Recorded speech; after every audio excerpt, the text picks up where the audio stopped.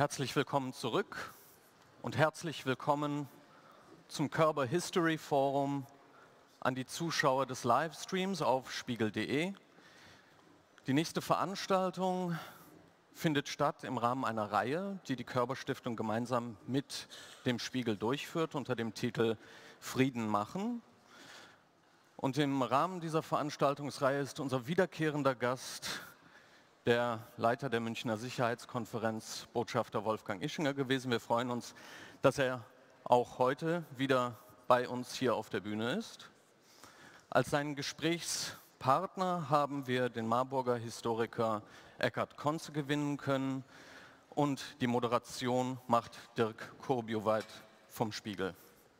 Uns interessiert insbesondere im Rahmen dieses Panels die zeitgenössische und heutige Wahrnehmung der, des Versailler Friedensvertrages und aber auch darüber hinaus der Pariser Friedensordnung, wie sie ab 1919 entwickelt wurde, die internationale Sicherheitsarchitektur der Zwischenkriegszeit und warum diese letztlich gescheitert ist, wenn man das so sagen kann. Und daran knüpft sich die Frage an, gibt es Lehren, die wir daraus ziehen können? Mit diesen Worten übergebe ich bereits das Wort an Dirk Kurbioweit. Herzlich willkommen.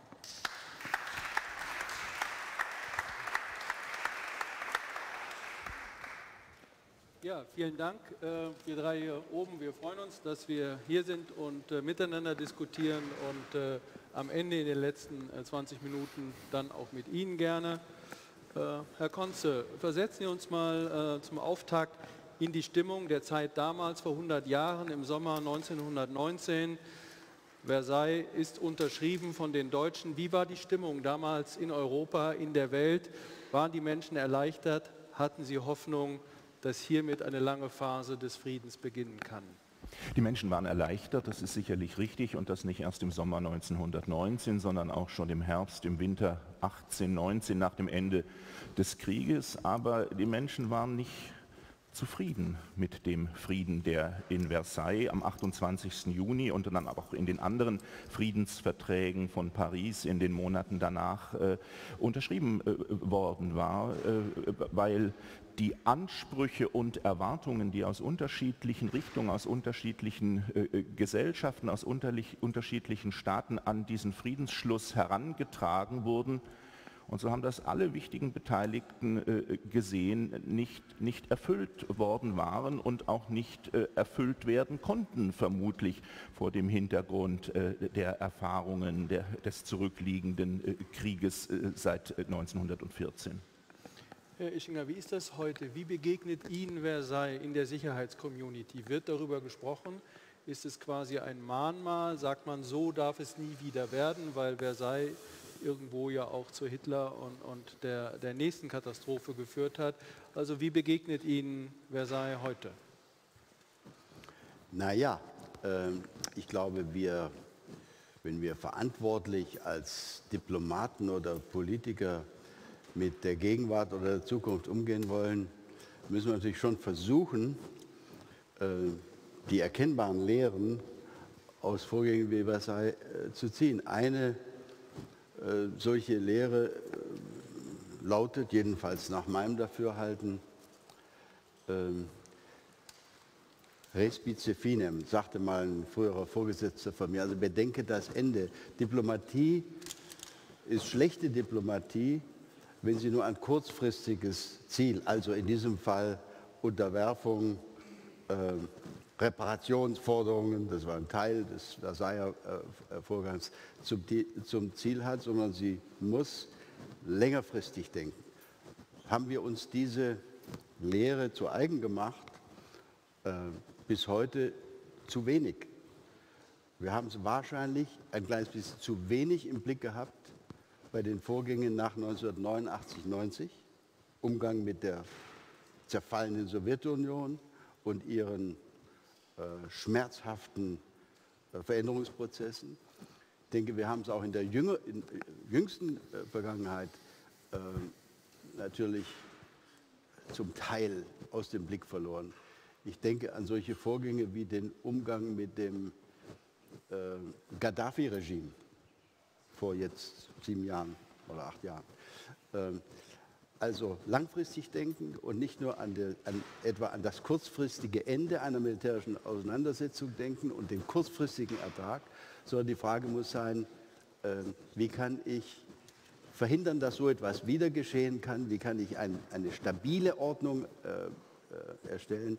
Und dann mein letztes Wort dazu wäre, und das ist auch eine Lehre aus Versailles, funktionieren tut es wahrscheinlich dann leichter, wenn man in der, imstande ist, erstens feste und von allen akzeptierte Regeln zu etablieren und zweitens, zweitens Institutionen zu kreieren, Institutionen zu, zu schaffen und die so auszustatten, dass sie auch von allen akzeptiert und gestärkt werden. Das ist nach dem Ersten Weltkrieg eben in Versailles nicht gelungen, Stichwort Völkerbund.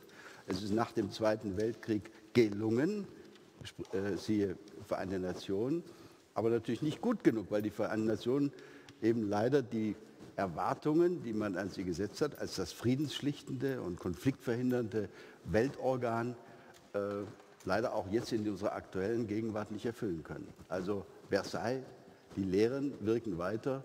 Ob, ob, ob wir sie ganz aufgenommen haben, da habe ich so meine Zweifel. Gehen wir mal einige Aspekte durch der damaligen Verhandlungen. Und ein wichtiger Aspekt ist ja eine wiederkehrende politische Figur. Das ist der Heilsbringer, das ist die Lichtgestalt und damals gab es die auch, und das war Woodrow Wilson, hm. der amerikanische Präsident. Er hat schon während des Krieges seine 14 Punkte äh, verkündet. Dann hat er später die, sich die Forderung nach dem Selbstbestimmungsrecht der Völker zu eigen gemacht. Als er in Europa eintraf, in Brest, die Massen haben gejubelt. Ich glaube in Paris, als er ankam, Hunderttausende auf ja. den Straßen. Die Menschen dachten, das ist der Heilsbringer, der bringt uns in Frieden. Und dann hat er sie enttäuscht. Er wird ja zunächst mal begrüßt, zwar auch als Heilsbringer, aber als derjenige, dessen Land sozusagen zum Ende dieses Krieges massiv beigetragen hatte seit 1917 äh, und der nun sozusagen mit dem Gewicht der aufsteigenden äh, Weltmacht USA politisch, militärisch, aber nicht zuletzt auch ökonomisch ähm, diese neue Weltordnung, die man am Ende des Weltkrieges äh, äh, zu schaffen bestrebt war, äh, seinen Stempel aufprägen wollte. Das ist die, die Erwartung, in die sich aber einmal mehr sozusagen zunächst die Erleichterung mischt über das, über das Ende des Krieges. Und dazu tragen dann überall in Europa natürlich diese, diese, diese Forderungen nach Selbstbestimmungsrecht, nach nationaler Selbstbestimmung bei, ohne dass man aber genau weiß, und selbst Wilson ist weiß das ja nicht. Was meint eigentlich Selbstbestimmung? Worauf bezieht sich das? Ist das ein ethnisch äh, bestimmter Begriff? Ist das ein politisch bestimmter Begriff? Lässt sich die Idee nationaler Selbstbestimmung auf bestimmte Territorien beziehen? Ist Selbstbestimmung, Self-Determination dasselbe wie Self-Government äh, äh, im, im äh, amerikanischen, angloamerikanischen Sinne? Das sind alles offene Fragen, die äh, einfließen dann in die Pariser äh, Verhandlungen, wie sie im Januar 1919 beginnen, aber in ihrer Komplexität Komplexität und ihrer Anwendung nicht nur auf die europäische, sondern sozusagen auch auf die globale Ordnung, die den globalen Süden äh, äh, mit einbezieht, die, die imperial beherrschte Welt in der Kürze der Zeit, auch unter dem Zeitdruck und angesichts sozusagen der aufgestauten Erwartungshaltungen der nationalen, aber auch sozusagen einer, einer zunehmend internationalen und globalen Öffentlichkeit ja kaum äh, äh, umsetzbar und zu erfüllen sind. Also da liegt sozusagen das große Problem Wilson, der übrigens äh, dann natürlich auch noch, wie wir alle wissen, äh, sozusagen den innenpolitischen Rückhalt verliert, den er ja bräuchte, auch sozusagen um auf, auf eigener Seite, im eigenen Hause sozusagen seine, seine, seine Vorstellungen, seine Visionen auch, auch, auch umzusetzen, mit Blick auf den Völkerbund nicht zuletzt. Ja, der Senat ratifiziert die, die Verträge dann nicht, damit äh, wird auch nehmen die USA auch nicht teil am Völkerbund. Herr Ischinger, wir hatten vor, vor 10, 12 Jahren, tauchte wieder ein, eine Lichtgestalt aus Amerika auf, ein, ein Heilsbringer, der ebenfalls vorab äh, mit sehr viel äh, Jubel bedacht wurde. Äh, Sie wissen, Barack Obama, äh, von ihm ist hier die Rede und äh, Zehntausende hier in Berlin, eine Siegessäule und viele dachten, äh, dieser Mann wird sozusagen die Welt retten, die Welt besser machen und äh, bekam den Friedensnobelpreis schon vorab, bevor er irgendwas geleistet hatte. Also wieder mal sozusagen hohe Vorschusslorbeeren und wir wissen, dass er das nicht erfüllen konnte. Brauchen wir da einfach ein, ein besseres Erwartungsmanagement in der Politik, wenn solche Figuren auftauchen? Naja, ich denke, also ich hoffe jedenfalls, dass das Nobelkomitee sich bei dieser Vorabverleihung ein bisschen was gedacht hat. Unterstellen wir mal, dass das Nobelkomitee sich gedacht hat, wenn wir dem jetzt den Nobelpreis kriegen, dann äh, äh, sieht er aus wie so ein gekröntes Haupt und ist vielleicht leichter imstande, gegen Widerstände, die zu erwarten waren, diese Vision, die er ja rhetorisch unglaublich äh, eindrucksvoll präsentiert hat, die berühmte Rede in Ägypten und verschiedene andere Reden auch hier in Europa, äh, diese Vision auch tatsächlich umzusetzen. Also ich, ich, äh, ich scheue ein bisschen davor zurück, dem Nobelkomitee zu unterstellen, dass sie sich solche Gedanken möglicherweise gar nicht gemacht haben.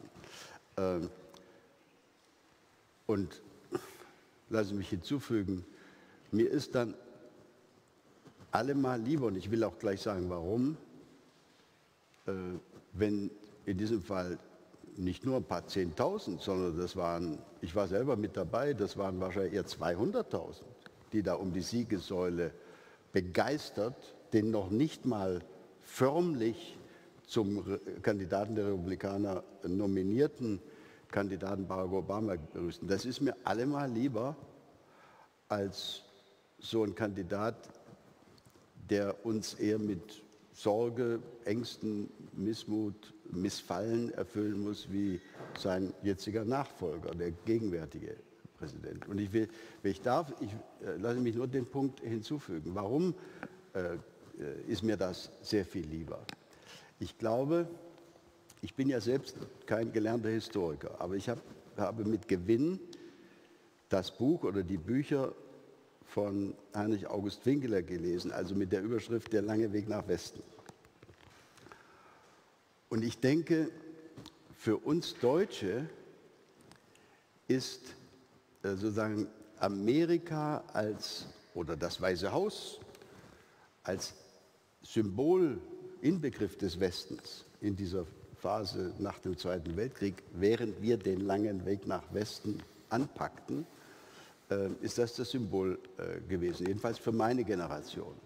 Als solches Symbol brauchen oder brauchten unsere britischen oder französischen Nachbarn nicht so sehr wie wir, weil sie davon ausgingen, vielleicht zu Recht davon ausgingen, sie sind der Westen. Sie brauchen nicht ein neues Symbol. Wir haben das Symbol schon dringend gebraucht und ich glaube, deswegen verlieren wir, wenn wir keinen Obama haben und keinen John F. Kennedy, sondern einen Donald Trump, verlieren wir die Fähigkeit, uns so richtig als Teil des Westens zu führen. Wo ist denn äh, das Symbol? Ich sehe den Ersatz für das Weiße Haus, the City on the Hill, äh, den sehe ich nirgendwo. Das heißt, ich würde behaupten, die Deutschen verlieren durch das, was sich ereignet hat in den transatlantischen Beziehungen, durch das, was sich im Weißen Haus äh, nun abspielt, wesentlich mehr, als das äh, bei unseren britischen oder, oder zum Beispiel französischen Partnern der Fall wäre. Aber das ist natürlich, wenn ich das kurz äh, einwerfen darf, ein Verständnis von Westen oder auch von Westlichkeit, das sich sehr stark knüpft an eine politische, auch militärische Hegemonie, in diesem Falle der Vereinigten Staaten. Und äh, sozusagen daraus resultiert die Frage im Niedergang dieser Hegemonie am Ende des American Century, davon können wir vermutlich sprechen, was passiert dann sozusagen mit diesen Ideen von Westlichkeit, die bei äh, Winkler beispielsweise eine, eine so zentrale Rolle spielen, wenn sie sich nicht mehr verbinden sozusagen mit einer existierenden und auch stark durchgesetzten ähm, amerikanischen Hegemonie. Das führt uns dann wieder zurück in die Zwischenkriegszeit, wo eben äh, der Vision Wilsons der Rückzug folgte äh, auf, dem, auf dem Fuße, sozusagen in eine Politik, nicht gleich äh, zu Beginn der 20er Jahre, aber doch spätestens mit der Weltwirtschaftskrise, Politik des Isolationismus, ähm, was dann eben sozusagen nicht westlichen, illiberalen liberalen, antiliberalen Ideen und Kräften überall in Europa, nicht zuletzt in Weimar, äh, äh, Vorschub leistete. Also ja, das sozusagen die, die Frage, auch an die Gegenwart. Genau, das ist die Frage, ob das nicht auch eine dann allerdings sehr bedrohliche Parallele sein könnte, dann, denn wie Sie sagen, damals zogen sich die Amerikaner weitgehend zurück, überließen die Europäer sich selbst und wir wissen, wie das geändert äh, ist und äh, wir hatten einen Weltkrieg. So. Und heute haben wir ähnliche Tendenzen in den USA über Trump, aber vorher auch schon ein bisschen. Wie sehen Sie das, Herr Ischinger? Ist das eben vielleicht auch eine Bedrohung, dass der Westen einen Anführer braucht, der ihn leitet und natürlich mit kritischen äh, Begleitern. Und wenn der aber wegfällt, dann ist die, die, sozusagen die Gefahr des, der Chaotisierung und letzten Endes eines neuen Krieges dann auch groß. Also ich glaube schon, äh, in der Tat, wie Professor Konse sagt, der amerikanische Rückzug war das Todesurteil für das, was man sich erwarten konnte oder sich erwartet hatte als äh, Herausbildung einer, einer, einer Friedensordnung. Europa ist sofort wieder in Konfrontation zerfallen. Ähm, ich denke, die Voraussetzungen wenn man unterstellt, dass jetzt wieder ein historischer Rückzug statt, wir wissen ja noch nicht, ob das Trumpsche Vorgehen von Dauer ist, ist ja noch nicht, noch nicht endgültig klar. Aber unterstellen wir mal, dass das so ist, äh, dass das von amerikanischen Wählern auch so gewollt ist, dann denke ich, ist aber ein ziemlich dramatischer Unterschied zwischen damals und heute der, dass wir heute schon eine Chance haben, die Werte des Westens, die Identität des Westens, die, ähm, die Rolle des Westens unter Umständen auch durch ein hoffentlich auch weiterhin einiges Europa zumindest hilfsweise darstellen zu können. Das war damals völlig ausgeschlossen. Es gab äh, in Europa nur Konfrontation. Wir haben jetzt eine Europäische Union. Und ich finde die Frage verwegen, sehr mutig.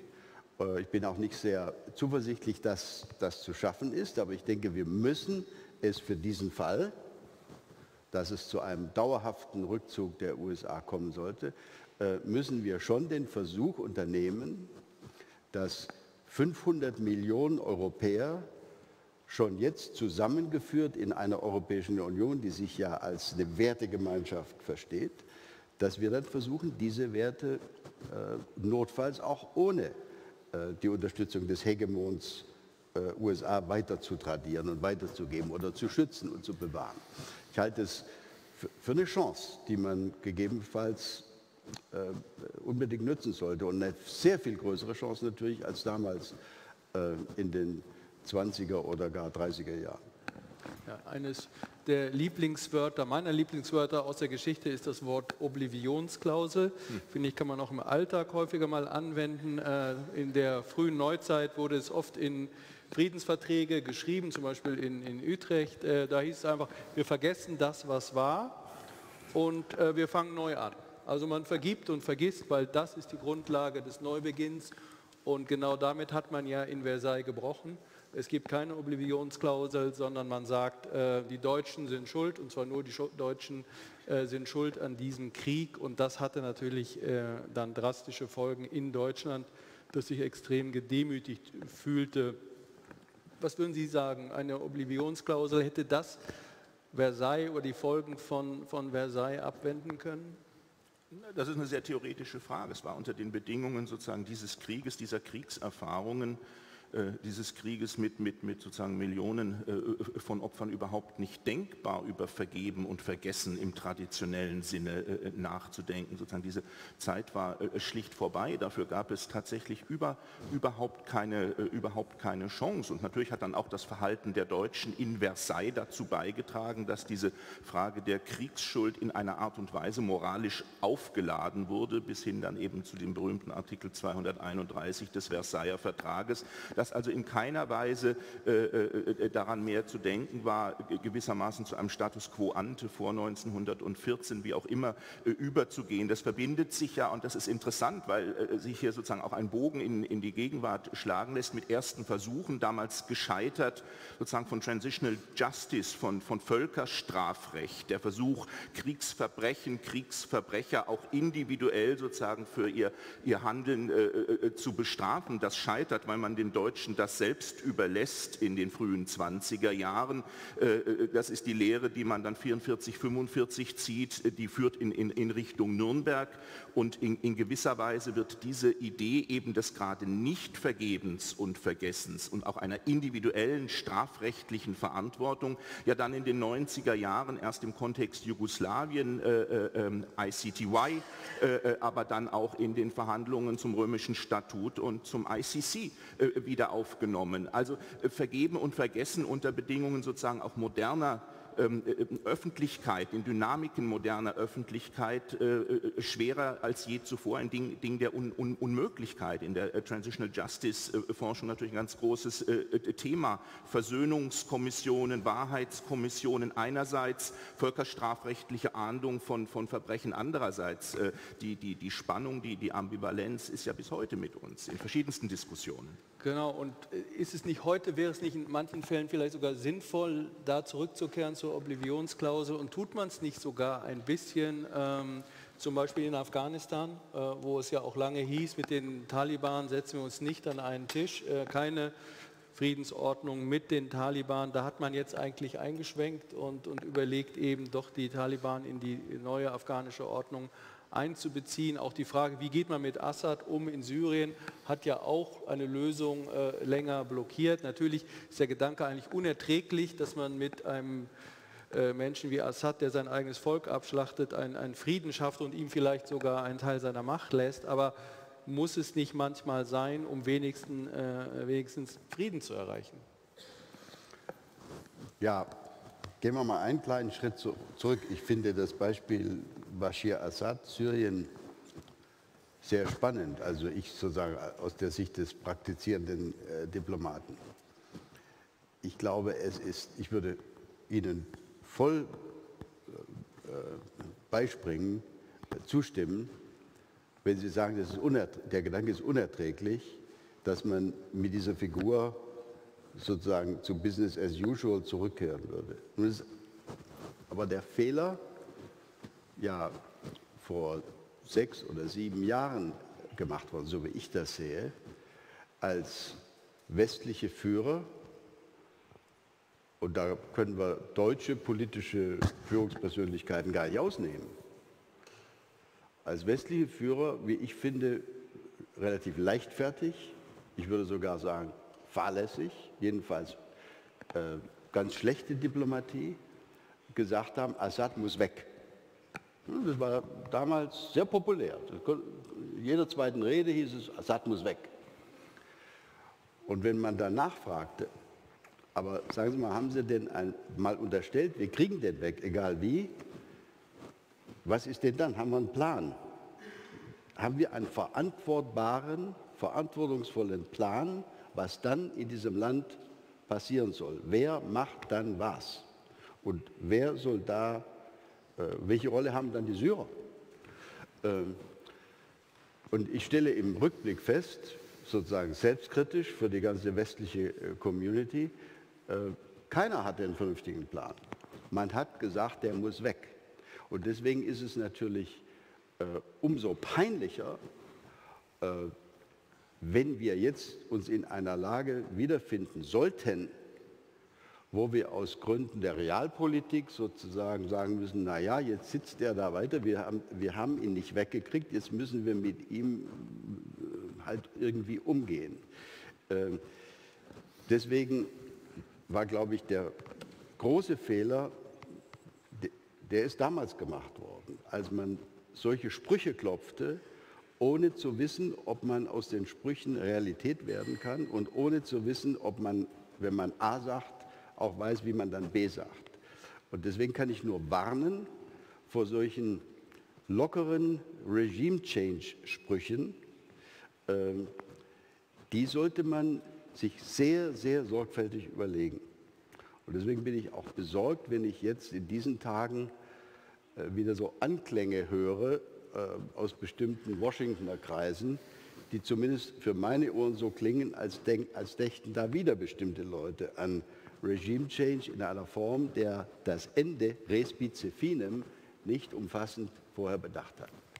Ja, jetzt sind wir im Bereich der Realpolitik. Wie sehen Sie es aus historischer Sicht? Naja, Regime Change ist natürlich schon etwas, was Blick auf Deutschland 1918, 1919 passierte. Das fällt nicht schwer, äh, das, fällt nicht schwer, das äh, zu sagen. Die Frage ist, was bedeutet es? Respice finem nehme ich gerne auf, sozusagen für die, für die weitere Entwicklung in Deutschland, in der Weimarer Republik, aber auch im europäischen Kontext mit Blick auf das deutsch-französische Verhältnis. Also Regime Change ist das eine, das ist die Bedingung sozusagen, an die man den Waffenstillstand schon koppelt im November 1918. Aber was, was resultiert denn äh, äh, daraus? Es gibt keine, keinen Konsens darüber, wie mit dem sich verändernden Regime in Deutschland äh, der entstehenden Weimarer äh, Republik denn umgegangen wird, von der man auch überhaupt noch nicht weiß, äh, Anfang 1919, wie sie sich entwickeln, ob sie sich überhaupt politisch stabilisieren würde. Also Regime Change sozusagen als, als kurzfristige Politikoption greift, greift, greift zu kurz.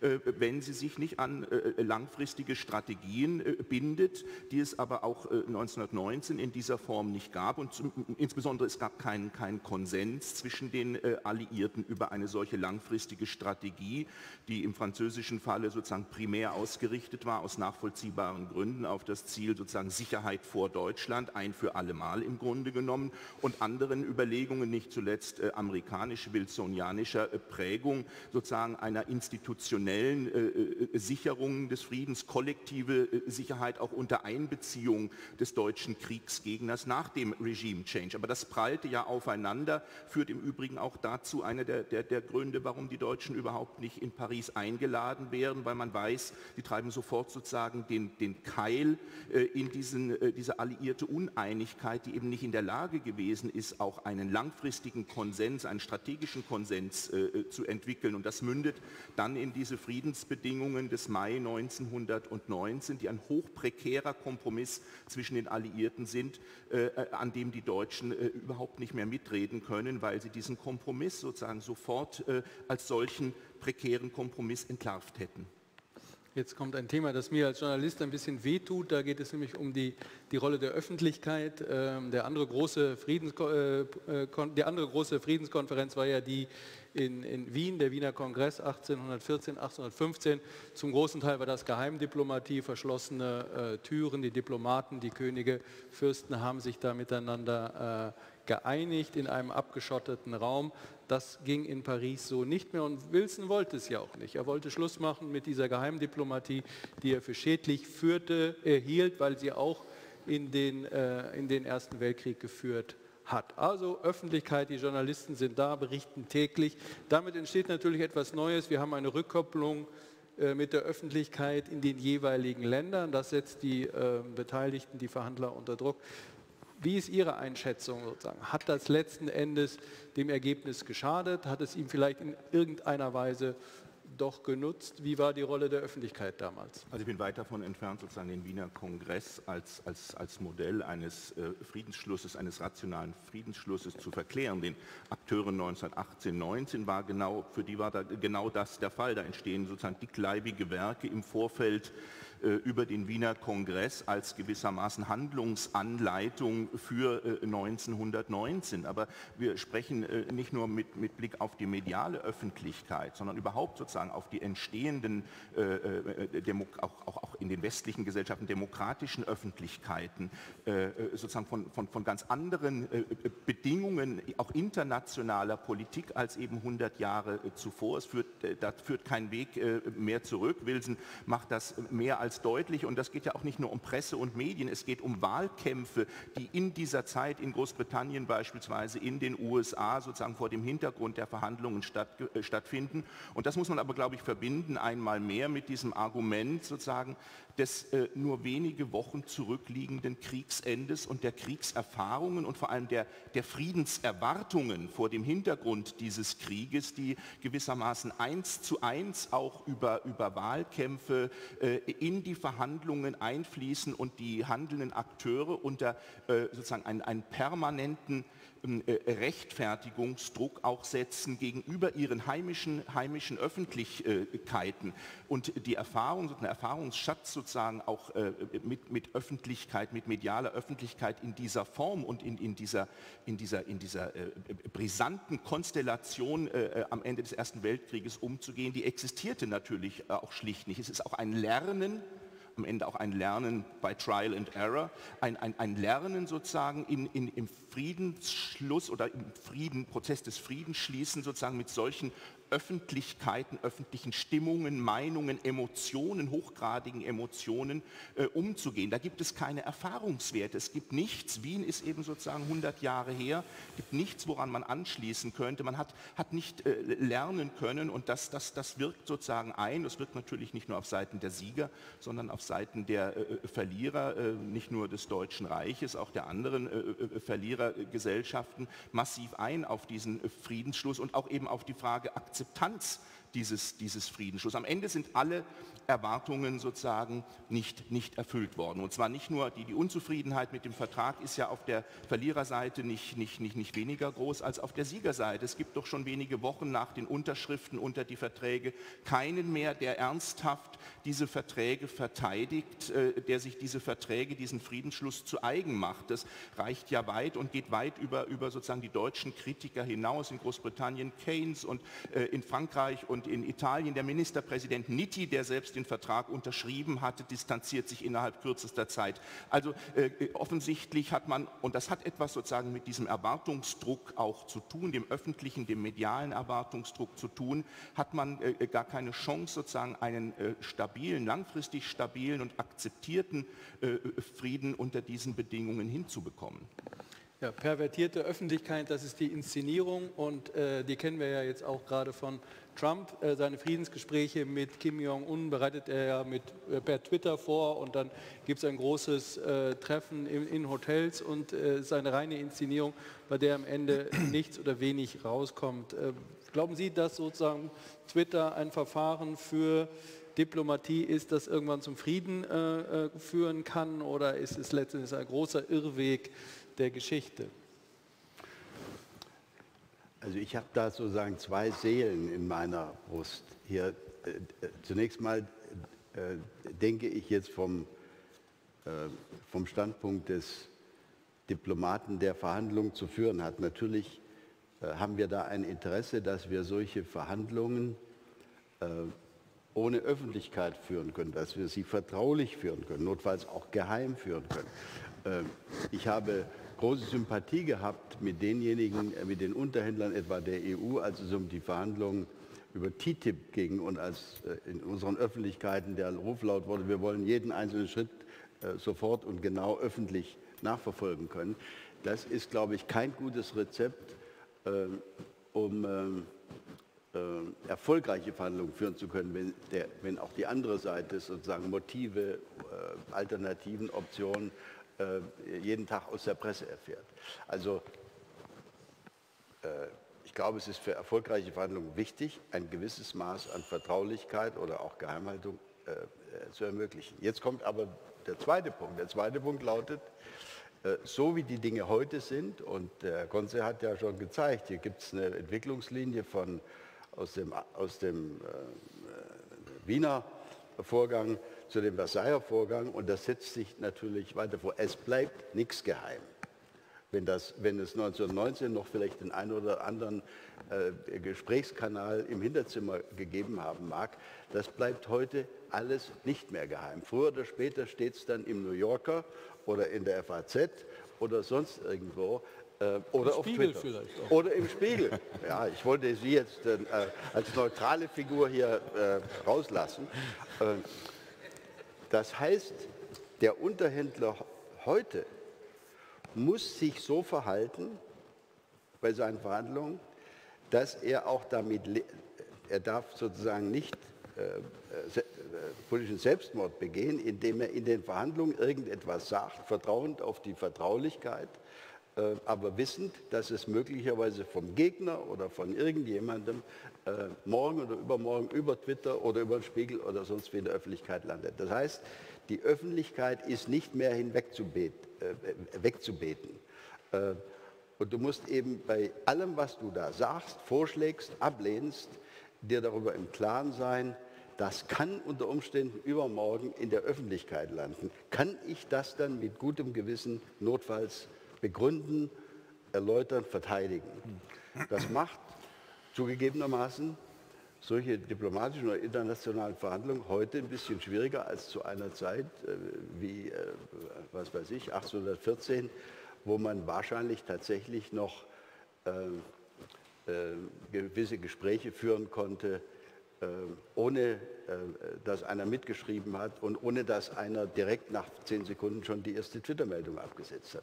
So ist es halt heute. Ja, man ist, wenn ich das noch ergänze, man kann die Argumentation natürlich noch weiterführen, sozusagen nicht nur auf die Frage der Geheimhaltung äh, von Verhandlungen und den Praktiken sozusagen des Whistleblowing, des Leaking, das ist auch in, pra in, Paris 19 schon praktiziert worden. Aber wie ist es denn möglich oder ist es möglich, äh, sozusagen unter diesen äh, Bedingungen auch gewissermaßen zwei Klaviaturen gleichzeitig zu spielen? Da haben Sie, wenn man die französische Politik beispielsweise ansieht, auf der einen Seite diese fürchterliche Szene am 28. Juni 19 in Versailles, als die deutsche Delegation an diesen schwerst gesichtsverletzten französischen Soldaten vorbeimarschieren muss, diese berühmten Gueule cassée. Sozusagen, das ist das Signal in die Öffentlichkeit. Jetzt kommt euer Frieden, das ist die Rechtfertigung für euer Leiden. Und kann man zur gleichen Zeit sozusagen sich in das stille Kämmerchen zurückziehen und einen Frieden des Ausgleichs möglicherweise sogar der Versöhnung schließen. Das scheint mir unmöglich zu sein und das ist sozusagen eine Dimension auch von, von Öffentlichkeit, nicht nur medialer Öffentlichkeit. Da geht es auch um symbolische Politik, da geht es um Public Diplomacy, die in diese Gesellschaften hineinwirkt, die sicherlich zu den äh, äh, äh entscheidenden Faktoren gehört, äh, warum dieser Frieden so kurzlebig ist und warum er eben auch nicht auf Akzeptanz stößt und zwar schon unmittelbar nach der Unterzeichnung in den frühen 20er Jahren. Herr, Herr Gubbel, darf ich eine kleine ähm, äh, kann ich in einer Minute machen, eine kleine Anekdote dazu ergänzen. Also ich hatte ja die, das Privileg oder die, das Vergnügen, ähm, für die Bundesrepublik Deutschland an den äh, Bosnien-Friedensverhandlungen in Dayton 1995 teilzunehmen. Die, die verhandelnden Parteien haben damals am ersten Tag sich gegenseitig hochheilig geschworen, null Presse. Man war ja auch auf dieser Airbase, da gab es weit und breit keinen Journalisten, der Zugang hatte. Null Presse. Es wird niemand vorab unterrichtet. Ähm ich habe mich daran auch gehalten, also bis zu einem gewissen Grad jedenfalls. Ja. ähm, dann stellte ich aber fest, äh, am Ende der zweiten Woche, der Prozess dauerte dann leider äh, drei Wochen, äh, hatte ich abends eine, äh, die Notwendigkeit, mich kurz mit dem amerikanischen Chefunterhändler Richard Holbrook abzustimmen und bin, ich glaube, ohne Anklopfen in sein Zimmer, in seinem Dienstzimmer gelandet. Da saß tatsächlich einer von der New York Times. Äh, und ich, ich sagte dann hinterher, aber wieso denn die New York Times? Ich dachte, wir wollten hier keine Presse haben. Also ich, ich will die Geschichte abkürzen. Äh, Holbrook hat, äh, wissend, dass er unser, unsere Absprache brach, mit der New York Times ausführliche Gespräche geführt, weil er glaubte fürchten zu müssen, dass das Ergebnis möglicherweise in Washington mit weniger Freude und Enthusiasmus aufgenommen werden würde äh, und dass er das durch eine entsprechende Pressedarstellung in die richtige Richtung schieben müsse. Also, was will ich damit sagen? Die Presse ist ja in diesen Fällen nicht nur eine Nuisance und ein möglicherweise notwendiges Übel, sondern die Presse kann natürlich auch ein, ein fulminantes, fabelhaftes Instrument sein, um bestimmte Ergebnisse tatsächlich unterstützt zu bekommen, wenn man da einen gewissen Twist, gewisse Präsentation imstande ist zu präsentieren. Man kann aber natürlich die Presse auch im negativen Sinne äh, nutzen, um bestimmte Ergebnisse zu sabotieren, zu verhindern, äh, die Dinge in eine andere Richtung zu bringen. Also es geht nicht mehr ohne Presse. Äh, und ich glaube, wenn, man, wenn, wenn heute in der modernen Diplomatie Trump Twitter benutzt, ich bin der Meinung, das, was er macht, ist Top-Down-Diplomatie. Das ist in den meisten Fällen falsch. Ja, ich glaube, im Falle Nordkorea abkürzen, weil wir jetzt. Ja, natürlich. Äh, Im Falle Nordkoreas, glaube ich, wäre es viel klüger, wenn hier sachkundige Emissäre miteinander reden würden und ein Ergebnis dann zur Absegnung den Chefs vorlegen würden. Das ist der klassische Vorgang, diese Top-Down-Diplomatie einschließlich Tweets. Der Beweis, dass das funktioniert, ist von Trump bisher noch nicht erfolgreich angetreten worden. Ja, eine Frage an Sie beide jetzt, weil man äh, kann ja äh, bei so einem Anlass nicht, nicht über China reden. Äh, China war auch Partei in, in Versailles und äh, sozusagen eine relativ kleine Partei. Sie hatten, glaube ich, Arbeiter geschickt, die bei der Schanzung und so weiter geholfen hatten und, und galten deshalb äh, auch als, als Sieger, wurden zu den Siegern am Rande jedenfalls dazugezählt und hatten große Hoffnung, ähm, kamen mit großen Hoffnungen nach Versailles, weil sie wollten Shantung zurückhaben. Das war eben deutsche Kolonie. Äh, die, den Deutschen wurden die Kolonien alle weggenommen und dann war nur die Frage, an wen gehen sie? Und die Chinesen gingen ja wie selbstverständlich davon aus, das geht an uns zurück und dann landete es bei Japan. Und für die Chinesen eine brutale äh, Enttäuschung, die, wie ich gelesen habe, bis heute wirkt, dass eigentlich damals China sozusagen das Grundvertrauen in den Westen verloren hat, das Vertrauen, dass man sich auf die verlassen kann.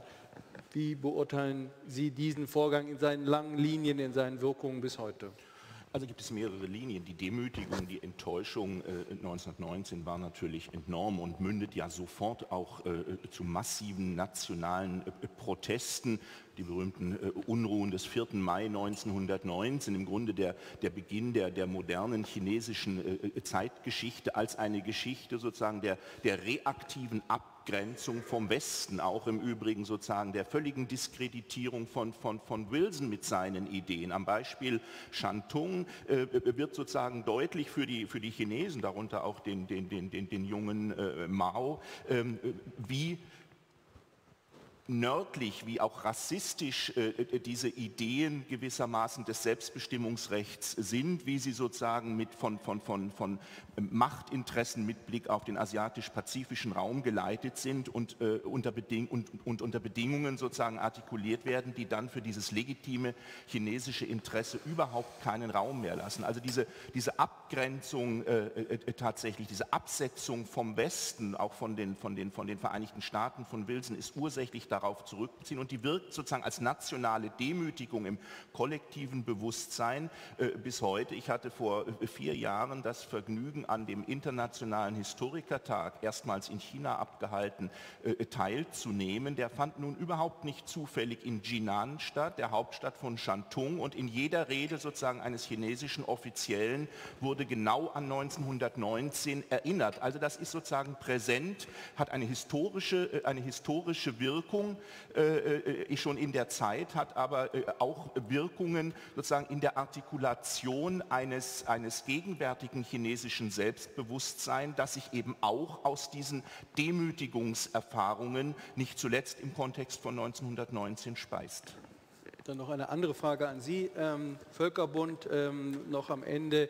Ähm, das war ja ein äh, Versuch in Multilateralismus, der dann gescheitert ist. Letzten Endes die UNO ist der, der zweite Versuch. Ein, ein ähm, Professor aus Singapur, ein Politologe, äh, vertritt ja die Meinung, sozusagen, wenn der Westen es ernst meinte mit dem Multilateralismus, dann würde er die Vollversammlung der UNO ernst nehmen, würde ihr Einfluss und Macht geben, weil das, sagt er, ist das Parlament der Welt und das kann nicht der Westen dominieren.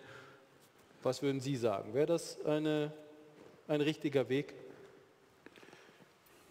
Ich glaube, der richtige Weg ist in der Tat äh, ein entschlossenes, ein hoffentlich entschlossenes Eintreten des Westens, einschließlich übrigens der, des ja, zurzeit nicht ständigen Mitglieds im Sicherheitsrat äh, Bundesrepublik Deutschland, für eine Reform der Organisation. Ich persönlich äh, denke, äh, unser Eintreten für eine Reform der Vereinten Nationen sollte völlig unabhängig von der Frage geführt werden, ob es sinnvoll, richtig, an, äh, ob es einen Anspruch geben könnte für eine deutsche Mitgliedschaft im Kreis der ständigen Mitglieder. Das hat ja das deutsche außenpolitische Denken in den letzten 20 Jahren, wie ich finde, außerordentlich fehlerhaft äh, dominiert. Da, darum geht es aber nicht. Es geht nicht um die Frage, ob Deutschland einen ständigen Sitz hat, sondern es geht um die Frage, gibt es Möglichkeiten, den Sicherheitsrat der Vereinten Nationen und in dessen äh, im, im, Falle äh, von dessen Blockierung äh, die Vereinten Nationen insgesamt handlungsfähiger entscheidungsfähiger, als sie es zurzeit sind, zu machen. Da gibt es das Thema Erweiterung. Wieso, sind, wieso ist Indien, wieso ist Japan, wieso ist Brasilien bis heute nicht im Kreise äh, der ständigen Mitglieder und so weiter und so weiter. Also ja, ich finde das ein außerordentlich wichtiges Ziel. Wir haben leider nur diese Vereinten Nationen und ich sehe nicht, dass man äh, etwas Neues, Besseres schaffen könnte. Also muss man versuchen, das, was ist, zu reformieren. Und ich glaube, unsere, unser Eintreten für Reform der Vereinten Nationen ist dann glaubwürdiger, wenn wir es nicht mit eigenen machtpolitischen Zugewinn äh, Fantasien verbinden, die ich ohnehin für unrealistisch halte. Gut, dann sind Sie jetzt gefragt mit Ihren Fragen. Bitte schön.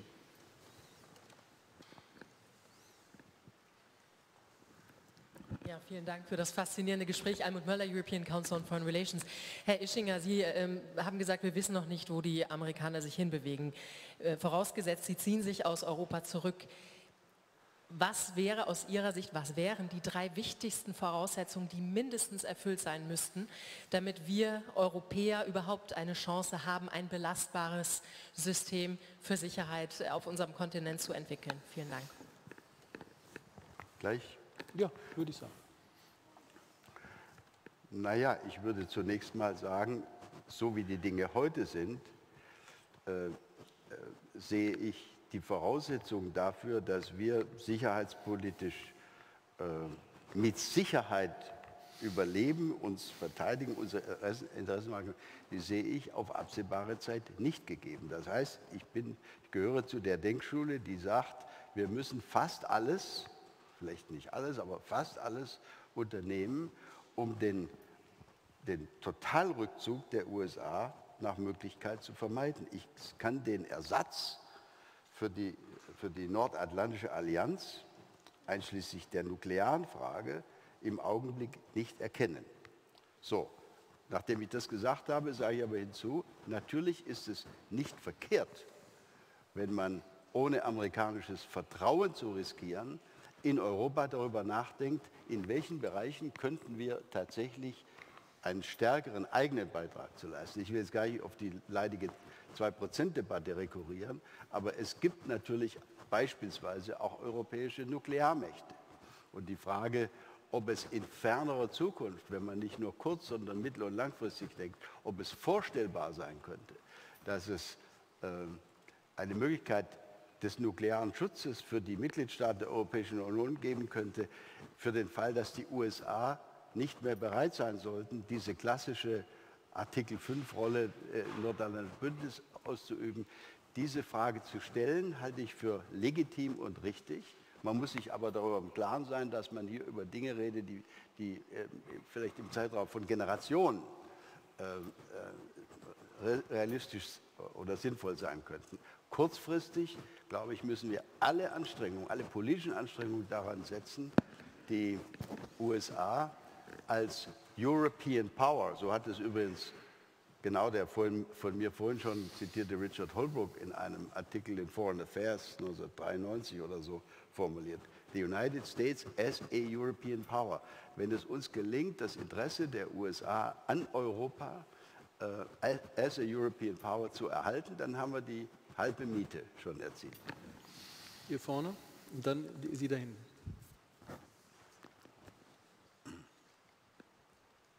Christoph von Marschall vom Tagesspiegel. Ich wollte gerne den Titel, die Friedensordnung von Paris, äh, um 100 Jahre nach vorne drehen. Es gab nochmal eine Friedensordnung von Paris, nämlich äh, nach dem Ende des, äh, Kalt, äh, des, Kalten Kriegs 1990 die Charta von Paris. Eine ganz entscheidende Frage war damals die Bündnis, freie Bündniswahl, die souveräne Unabhängigkeit, das Ende der Akzeptierung, dass es berechtigte Einflusssphären geben, die auf Kosten der nationalen Souveränität von Nachbarn gehen. Und das verbinde ich dann, Herr Konze, mit Ihrem Hinweis auf die Unterstützung in der Öffentlichkeit.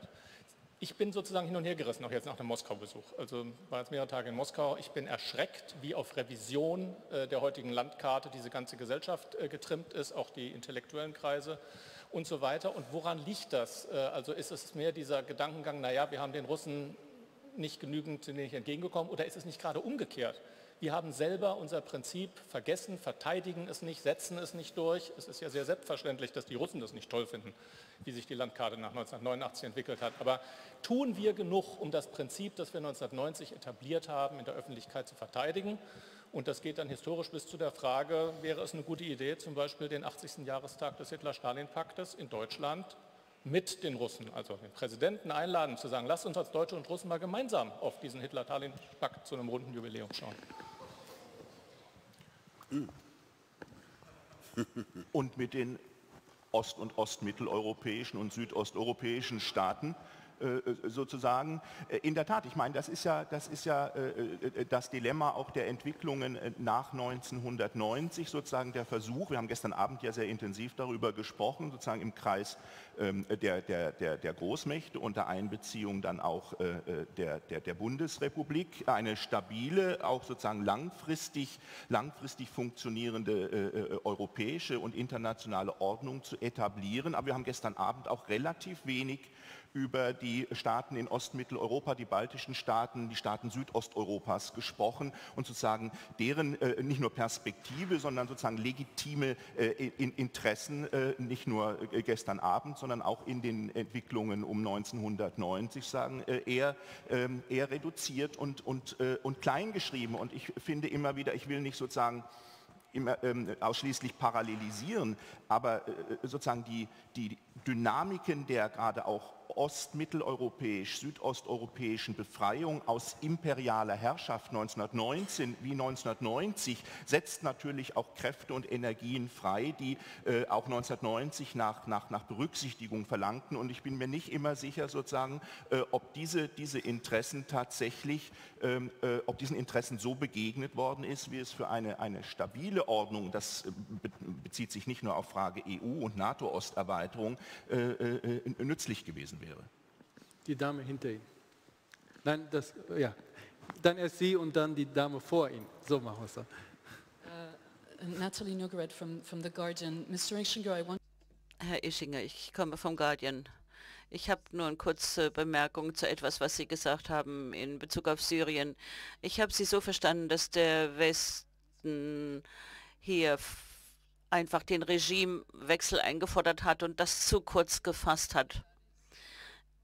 Ich denke, das ist eine Kurzversion der Ereignisse und reduziert die Realität dessen, was tatsächlich passiert ist. Ich möchte Sie nur alle daran erinnern, dass die Syrer demonstriert haben. Tausende von ihnen sind monatelang auf die Straße gegangen, von Mitte März 2015 und das monatelang. Sie wurden beschossen von Assads Armee. Erst dann haben Obama, Merkel und Hollande eine gemeinsame Erklärung verabschiedet am Ende August 2011 und sie haben gesagt, Assad must go. Assad muss weg. Und diese politischen Führer haben lange gewartet, um eben nicht Regimewechsel zu stark durchzudrücken, sondern zunächst erstmal Reformen vielleicht äh, anstoßen zu können. Also der Westen wollte nicht sofort den Regimewechsel Sie haben versucht,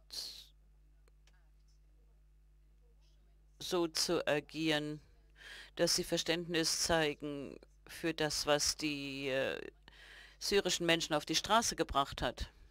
Also hier müssen wir sehr vorsichtig sein, zu schnelle Formeln äh, zu verkünden hinsichtlich Regimewechsel. Das ist genau das, was die Desinformationsnetzwerke ständig diskutieren. Da kommt man auch zu schnell zu einem Vergleich äh, zum Irak. Meine Frage. Wir reden ja über die internationale Sicherheitsarchitektur. Wir denken an die Gemeinschaft der Nationen. Würden Sie sagen, dass unsere internationale Sicherheitsarchitektur, so wie wir sie kannten bis in die jüngste Zeit hinein, in Syrien zerbrochen, zerfallen ist. All die internationalen Normen, die Normen der UNO, die internationalen Konventionen, das Chemiewaffenverbot, das äh, humanitäre Völkerrecht, so viele Regeln hatten wir doch. Und wir haben gedacht, das gelingt uns, solche Dinge zu verhindern. Und denken Sie, dass im syrischen Drama all diese Regeln gescheitert sind? Und ich will das heute erwähnen, weil genau während wir hier sitzen, gibt es wieder dramatische Ereignisse in diesem Teil der Welt, die sich auf uns auswirken können. Der syrische Zerfall unserer internationalen Norm ist vielleicht der Vorgänger gewesen dafür, dass unsere eigene europäische Sicherheitsarchitektur zum Scheitern verurteilt war angesichts der ukrainischen Ereignisse. Also denken Sie nicht, äh, dass hier die internationalen Normen geschaffen von den Vereinten Nationen tatsächlich gescheitert sind in Syrien. Eine sehr lange Frage. Wir brauchen eine kurze Antwort. Ich werde es versuchen, ganz kurz zu machen. Ich denke nicht, ich kann Ihnen vollkommen zustimmen. Aber Tatsache ist und bleibt, dass unsere Führer auch einschließlich einiger äh, deutschen Führungspersönlichen sagen, Assad muss weg. Ob man das jetzt nur Regimewechsel nennt oder nicht, aber es ist eine Tatsache, dass das gefordert wurde. Und ich kritisiere das nicht mal, denn ich denke schon, dass da furchtbare Sachen passiert sind. Nur, wenn man das sagt, als Vertreter einer Regierung oder als Gruppe von Regierung, wenn man das sagt und dann nichts macht, einfach sich zurücklehnt und wartet, dass andere etwas machen, dann ist das unverantwortlich international gesehen. Ich beschuldige unsere westlichen Regierungen, nicht gehandelt zu haben. Wenn sie es ernst gemeint hätten, hätten sie sehr leicht diesen größeren, furchtbaren Konflikt vermeiden können. Sie hätten dazu schon früh zusammenarbeiten müssen. Sie hätten sich einbringen müssen in diesen Konflikt, als es noch eine Auseinandersetzung zwischen den verschiedenen äh, bürgerlichen Kräften, bevor die ganzen Terroristen dort die Katastrophe erzeugt haben, die wir jetzt schon seit Jahren erleben. Also meine Kritik geht an die Tatsache, dass wir etwas gesagt haben, aber nichts getan haben. Das ist schlechte Politik. Und dann der Herr dort. Und Sie als Letzter, ja. Elisabeth Brabay-Gusi nochmal. Ähm, eine Frage zur Pariser Friedensordnung. Äh, heute sieht ja ähm, Aggression anders aus. Also nicht so oft Krieg, sondern mehr äh, Aggression, die kein Krieg ist. Also Cyberangriffe, mhm. Wahlmanipulation und so weiter. Da denke ich, ist die Diplomatie gefragt und daher meine Frage an, an, an Sie, also beide. Äh, wie kann die Diplomatie, also können Diplomaten, können Diplomaten heute neue Verträge aushandeln, sodass äh, äh, zum Beispiel äh, Cyberangriffe äh, verboten werden? Also ist das überhaupt möglich und wie sollte sowas aussehen? Weil sonst, äh, aus meiner Sicht, werden wir in einer Wirklichkeit leben, wo wir weder Krieg noch Frieden haben. Also kein, hm. keine Friedensordnung.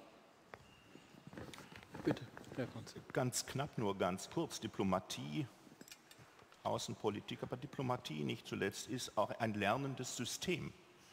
Und Paris 1919 zeigt, äh, dass Diplomatie, dass internationale Politik nicht über die Möglichkeiten, auch die kognitiven Möglichkeiten verfügte, unter revolutionären Bedingungen vor dem Hintergrund sozusagen eines viereinhalbjährigen technisch-industriellen Massenvernichtungskrieges Frieden mit traditionellen Instrumentarien zu schließen. Das ist sozusagen genau Ihr Punkt, Diplomatie als lernendes äh, äh System, das in Paris zumindest äh, relativ versagt hat 1919, weil es nicht in der Lage war, auch in der Kürze der Zeit und unter dem sowohl Erfahrungs- wie auch Erwartungsdruck der Situation am Ende des äh, Ersten Weltkrieges mit den Herausforderungen sozusagen eines Friedensschlusses unter neuen, modernen Bedingungen umzugehen.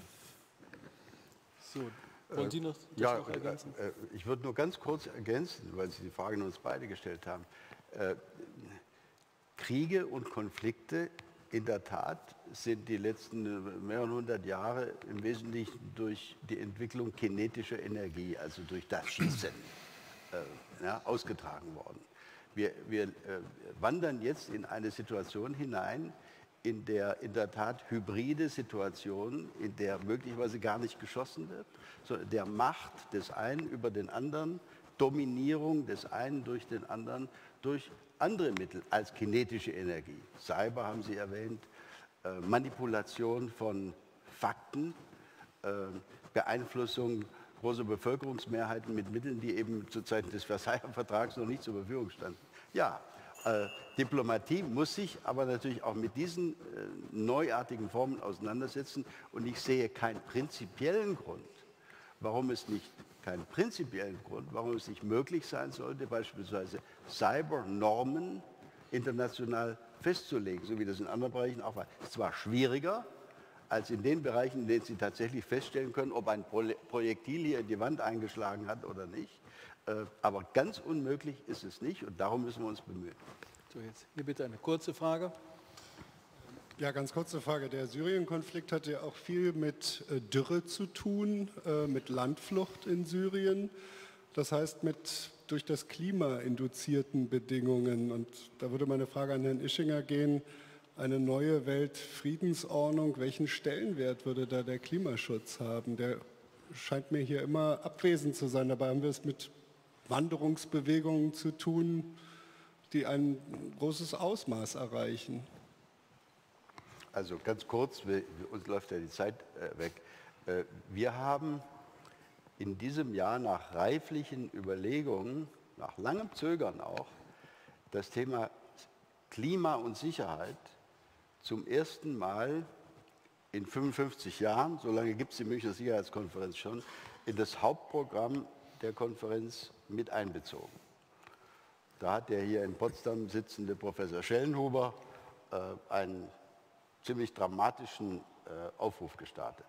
Äh, erster Teil meiner Antwort. Zweiter Teil meiner Antwort, ebenfalls bei der Münchner Sicherheitskonferenz ist von einer Reihe von früheren äh, Entscheidungsträgern, also da gehörte Madeleine Albright dazu, Carl Bildt aus Schweden, ähm, verschiedene andere, ich persönlich auch. Wir haben eine Declaration of Principles dort verabschiedet und vorgestellt, äh, die Sie äh, nachlesen können, äh, googeln können, mit Prinzipien für eine künftige Weltordnung. Also das ist alles, was gut und teuer ist, da drin, von Self-Determination über Nichtbeeinflussung und friedliche Konfliktbeilegung und Klima. Ja, das finden Sie natürlich in, in grundsätzlichen Dokumenten oder Aufrufen, die vor 10, 20 oder 30 Jahren verabschiedet worden wären, noch nicht. Insoweit, ja, Sie haben recht, Klima gehört ab sofort, spätestens ab sofort, zu den Determinanten einer zukunftsgerichteten Friedens- und Stabilitätspolitik. Haben wir noch Zeit für eine Frage oder müssen wir Schluss machen? Ganz kurz noch, ja. Ähm, Herr Ischinger, können Sie sich irgendeine Konstellation vorstellen, in der Russland und die Ukraine in einer Art Friedensvertrag sich über den Status der Krim einigen? Ich kann mir das eigentlich nicht. Und dann ähm, stellt sich doch die Frage, ob wir nicht tatsächlich, so wie Sie gesagt haben, in einer ähm, hybriden Situation sind, wo wir lernen müssen, mit solchen ungelösten Konflikten zu leben und dass Diplomatie eben nicht nur ein lernendes, sondern aus strukturellen Gründen manchmal auch ein verlernendes System ist. Dankeschön. Ach, wissen Sie, die Deutschen haben in der Diplomatiegeschichte seit dem Zweiten Weltkrieg eins gelernt, jedenfalls nehme ich das für mich in Anspruch, nämlich wenn ein Problem nicht lösbar erscheint, dann, dann wollen wir es ja nicht vergessen, dann wollen wir es erstmal ausklammern oder zur Seite stellen, ohne es zu vergessen. Das war die Methode, mit der die Frage über die Zukunft der beiden deutschen Staaten in den 70er Jahren elegant ausgeklammert werden konnte. Beide deutsche Staaten wurden in die Vereinten Nationen aufgenommen, ohne dass diese Grundsatzfrage geklärt war. Äh, also möglich, mit geschickter Diplomatie kann vieles erreichen.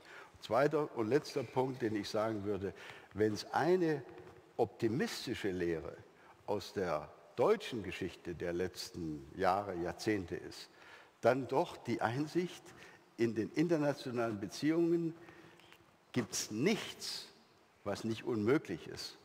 Und selbstverständlich ist es theoretisch möglich, ist es praktisch, äh, äh, also äh, wahrscheinlich, da würde ich auch sagen eher nein, aber theoretisch ist es natürlich nicht unmöglich, dass es zu einer Einigung zwischen Russland und der Ukraine kommt. Ich halte es sogar für wünschbar. Wir Deutschen haben doch die Erfahrung gemacht, wir haben die Wiedervereinigung auch für praktisch, jedenfalls zu unseren Lebzeiten nicht für machbar gehalten. Da ist sie gekommen. Äh, und vielleicht werden wir in ein paar Jahren überrascht durch einen Friedensschluss zwischen Moskau und Kiew. Es wäre doch schön. Ja, wir haben gerne mit Ihnen diskutiert. Vielen Dank, dass Sie da waren.